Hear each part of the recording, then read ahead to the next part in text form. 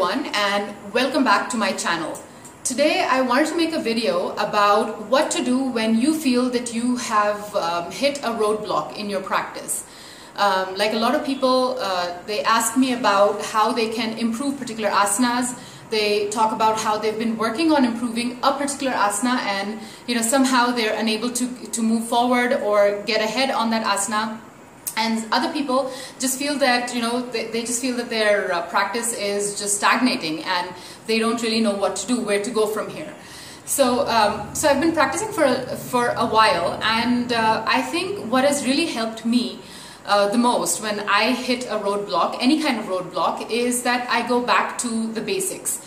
Um, so instead of looking at the stuff that I don't know or looking for an answer or some kind of guidance in a book I don't know or uh, from a teacher um, you know who, who's a, a, new teacher for me or uh, like a, a, retreat or a workshop that I've never been uh, to instead of looking at a place which is new for me I'll, I go back to what I already know and what I feel I know really well. So I go back to all the basic asanas um, you know I start with the standing series. There are days and days in which I, I just practice the standing series or the or the sitting um, asanas. And I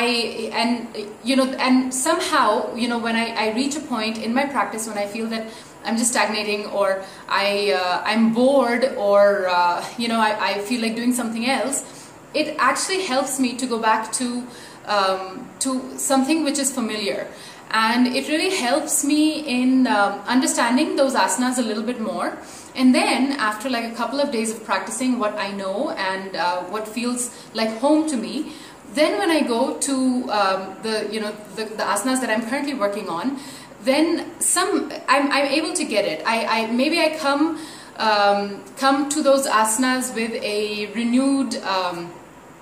or a refreshed uh, perspective or maybe all that extra practice uh, really helps. Um, I, I, don't know what it is, but I do know that you know when you when you kind of step back from an asana which is really challenging, or when you stop uh, getting frustrated, or uh, you know, and looking at other things or other teachers or other books or something new,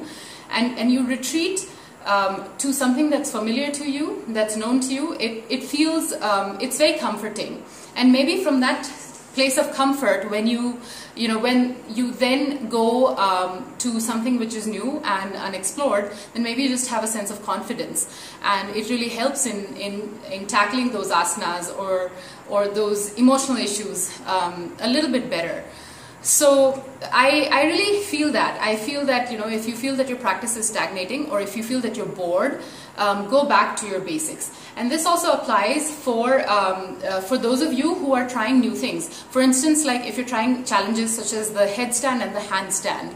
And I know a lot of people who say, um, you know, I, I, that I don't have enough strength here or there, or I feel that this is the problem. Um, you will only know what the problem is if you go back, like for instance for the headstand and handstands, um, if you go back to your core strength, if you go back to shoulder opening, if you go back to hamstring opening, um, and you know you spend a little bit of time on that, and then you go back to your, your inversions, you will see a huge difference in the way you execute those in, uh, inversions. And sometimes the problem isn't even what you think it is. Sometimes it's just something completely different, and it just gives you a little bit of an insight, more insight, and it really brings you closer to the practice. And from that, you know, place of comfort, you're able to actually move on and progress and go deeper into the practice. It's it works like that. It's it's almost like magic or um, it's it's like a miracle or something but um, it is something that really works to go back to the basics to really relook at it and get more comfortable with it and understand it a little bit more spend that time so yeah so that's what I feel that you know um, if you feel that your uh,